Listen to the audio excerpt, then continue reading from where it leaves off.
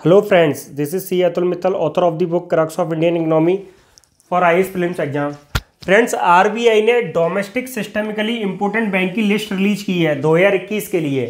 तो domestic systemically important bank कौन से इंडिया में? एक तो एसबीआई है और दूसरा आईसीआईसीआई बैंक है तीसरा एचडीएफसी बैंक है। तो आज हम डिटेल में देखते हैं डोमेस्टिक सिस्टमिकली इंपोर्टेंट बैंक क्या है। तो फ्रेंड्स 2007-8 में जब ग्लोबल फाइनेंशियल क्राइसिस हुआ था तो बड़े बड़े जो बैंक थे इंटरनेशनल बैंक वो डूब गए थे। उससे पूरा फाइनेंशियल सिस्टम पे इम्पैक्ट पड़ा और उससे इकोनॉमी पे इम्पैक्ट पड़ा। अब डूबे थे यूएस में, लेकिन इम्पैक्ट पूरे वर्ल्ड ओवर बना था। तो फाइनेंशियल स्टेबिलिटी बोर्ड है, जिसका हेडक्वार्टर बेसल स्विट्जरलैंड में फाइनेंशियल स्टेबिलिटी बोर्ड इंडिया भी उसका मेंबर है। उसने 2010 में रिकमेंड किया कि कुछ फाइनेंशियल इंस्टीट्यूशन क्या है इंपॉर्टेंट होते हैं। तो आपको ऐसे फाइनेंशियल इंस्टीट्यूशन को आइडेंटिफाई करना है। तो फाइनेंशियल स्टेबिलिटी बोर्ड है। वो ग्लोबल सिस्टमिकली इंपोर्टेंट बैंक की लिस्ट रिलीज़ करता है। ग्लोबल सिस्टमिकली इंपोर्टेंट बैंक की वर्ल्ड ओवर में इंपोर्टेंट बैंक कौन से हैं? और उसने कहा है कि जो भी उसके मेंबर है, वो डोमेस्टिकली इंपोर्टेंट बैंक की लिस्ट रिलीज़ करें। डोमेस्टिक सिस्टमिकली इंपोर्टेंट बैंक तो ये डोमेस्टिक सिस्टमिकली इंपोर्टेंट बैंक और ग्लोबल सिस्टमिकली इंपोर्टेंट बैंक क्या होते हैं? देखिए, कुछ बैंक और फाइनेंशियल इंस्टीट्यूशन इतने बड़े होते हैं टू बिग टू फेल इतने बड़े होते हैं, अगर वो फेल हो जाए तो पूरा फाइनेंशियल सिस्टम फेल हो जाएगा और इकोनॉमी पे भी भयंकर इंपैक्ट पड़ेगा। जैसे फॉर एग्जांपल एसबीआई इंडिया में डोमेस्टिक सिस्टमिकली इंपोर्टेंट बैंक है, सबको पता है। एसबीआई का पेनिट्रेशन पूरे ऑल ओवर इंडिया है वर्ल्ड में भी ब्रांच है।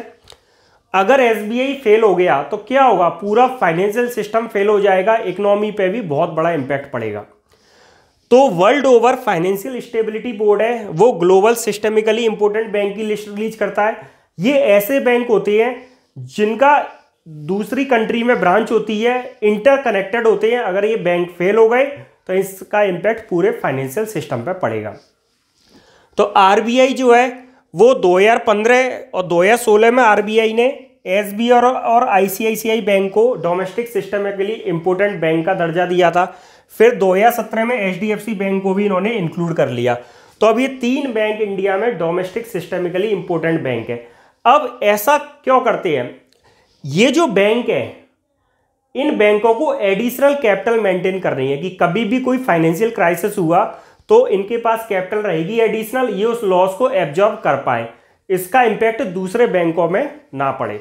तो देखिए आरबीआई ने क्या है कि बैंकों को पाँच बकेट में आइडेंटिफाई किया है, जिसका सिस्टमिक इंपोर्टेंट स्कोर डिसाइड करती है आरबीआई जिसका स्कोर ज़्यादा है, उसको उस बकेट में रखते हैं। जैसे एसबीआई का स्कोर सबसे ज़्यादा है एसबीआई थर्ड नंबर बकेट में, इसको एडिशनल कैपिटल रखनी है zero point six zero percent और आईसीआईसीआई बैंक और एचडीएफसी फ़र्स्ट बकेट में इनको कम एडिशनल कैपिटल मेंटेन करनी है। फिफ्थ नंबर बकेट पे अगर कोई आती है बैंक तो one percent additional capital maintain करनी है। फोर पे आती है तो zero point eight zero percent फिर zero point six zero four zero two zero इस तरह से एडिशनल कैपिटल जो जिस अगर फिफ्थ बकेट में कोई बैंक आएगी तो उसको वन परसेंट एडिशनल कैपिटल रखनी है। अब देखिए एडिशनल कैपिटल क्या है? आपने देखा होगा capital adequacy ratio C capital adequacy ratio आपने पढ़ा है, जिसे हम बोलते हैं C R A R capital to risk adjusted asset ratio. तो अब आरबीआई ने कहा है, बैंकों को nine percent C R A R maintain करनी है। और नाइन परसेंट में टीयर वन कैपिटल कितनी होनी चाहिए? Five point five percent tier one capital इसके अलावा capital conservation buffer 2.5 percent capital conservation buffer maintain करना है। ये भी किसमें मेंटेन करना है? टीयर वन कैपिटल में। तो 5.5 percent tier one capital capital adequacy ratio maintain करनी है और कैपिटल कंजर्वेशन बफर में 2.5 तो कितना हो गया? पाँच दो सात, आठ परसेंट टीयर वन कैपिटल हो गई मिनिमम इसके अलावा अगर वो डोमेस्टिक सिस्टमिकली इंपोर्टेंट बैंक है तो एडिशनल टीयर वन कैपिटल और मेंटेन करनी है। टीयर वन कैपिटल होती है गोइंग कंसर्न कैपिटल जैसे equity share capital reserve and surplus ये आपकी टीयर वन कैपिटल होती है। तो फ्रेंड्स ये प्रिलिम्स के लिए बहुत इंपॉर्टेंट है कि इंडिया में कौन सी bank domestically domestic systemically important bank है। थैंक यू फ्रेंड्स अगर आपको हमारी क्लास पसंद आई हो तो यूट्यूब चैनल सब्सक्राइब कीजिए। Crux of Indian economy book है, वो आप आई से डाउनलोड कर सकते हो। Thank you friends